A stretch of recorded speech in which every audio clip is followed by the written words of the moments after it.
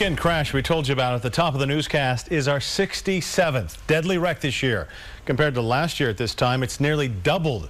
We were at 35 deadly crashes. And all these wrecks can take a mental toll on first responders. KITV's Adam Hammonds asked first responders what it's like and found out the effects of one particularly horrific crash in Caldwell County a collision major in the area of Highway 183 and Highway 21. On August 13th, an SUV carrying nine people rolled down an embankment in Caldwell County. Family members thrown from the car. We had one, two, three, four, five, six, seven, seven patients. I got three, three people with no pulse. The driver behind the crash happened to be a paramedic. I've got about four children. We're going to need a, a helicopter. Five people, including one child, died from the crash. Weeks later, that paramedic says it's a scene he's still trying to get over, a feeling many first responders face. There are people who have a hard time shaking off a particular event. EMS first responders Rick Rutledge and Mike Benavides have spent decades as paramedics, and they've noticed a spike in crashes this year.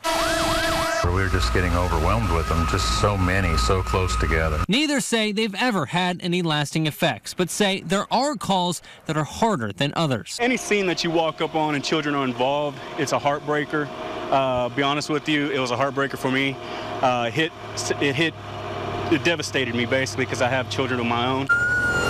So, can it turn into PTSD? Benavides says yes, but it's a different kind, and they're still understanding it. I believe that it is now more on the forefront dealing with first responders, you know, PTSD. And there are programs to help, including a newly created peer support team made up of a select group of Austin Travis County medics. And there's also a band like this that each person EMS gets with a number to call. So it's important that as an organization that we watch out for each other. So how do they do it day after day?